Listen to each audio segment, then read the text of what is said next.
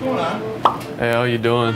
Can I help you? Yeah, I just had a question. So my mom You basically turn off the camera before I talk anymore. we're not allowed to film in here. Well, it's a public place, but I'm. I mean,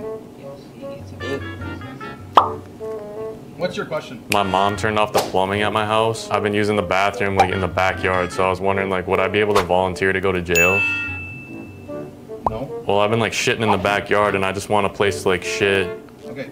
Um, do you have an actual question for me? Yeah, that. That's not an actual question.